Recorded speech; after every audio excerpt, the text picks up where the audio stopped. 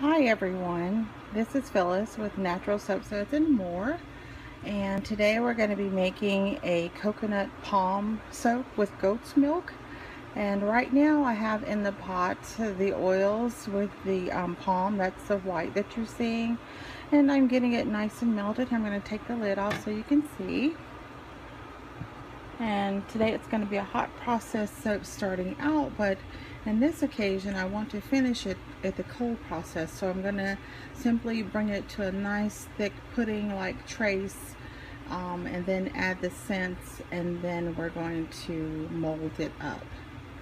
So as you can see it's um, I just have it right now kind of on a warm because I don't want it to get too hot and depending on your crock pot how hot it gets um, will dictate, you know, how high you want to set the settings to get to the desired temperature um, that you're going to process with.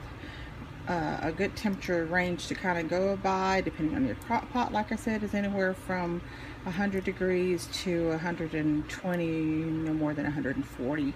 Um, higher than that, you're going to need to probably cool it down a bit before you add your lye water solution. So this is coming along quite nicely and I'll go ahead and check the temperature for you. And I just have a digital reading thermometer. As you can see, this is reading at 93.5, so that's coming along quite nicely. Okay, I'll bring you back when we get a little more warmth going on here.